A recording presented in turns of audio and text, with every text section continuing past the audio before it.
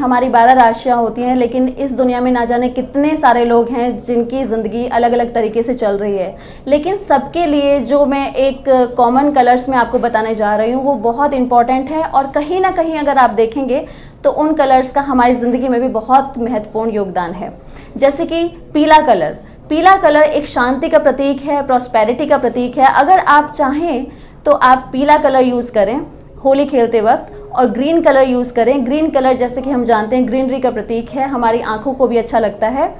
Pink colour आप use कर सकते हैं। रेड कलर जैसे कि हम जानते हैं, हम पूजा विधि के समय हमेशा रेड कलर यूज़ करते हैं, क्योंकि वो कहीं ना कहीं सूदिंग होता है पावर का प्रतीक होता है।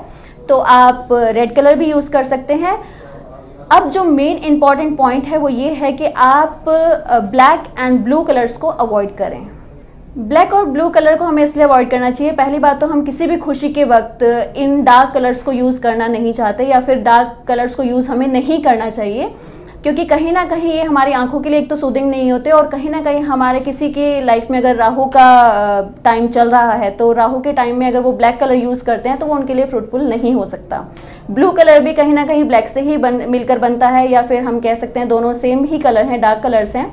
तो कहीं ना कहीं जो हम देखते हैं कि वो अगर राहु का किसी का पीरियड चल रहा है तो वो उनके लिए फ्रूटफुल नहीं होगा। तो इसलिए आप नॉर्मली यूज़ करें होली खेलने के लिए येलो कलर ग्रीन कलर और रेड एंड पिंक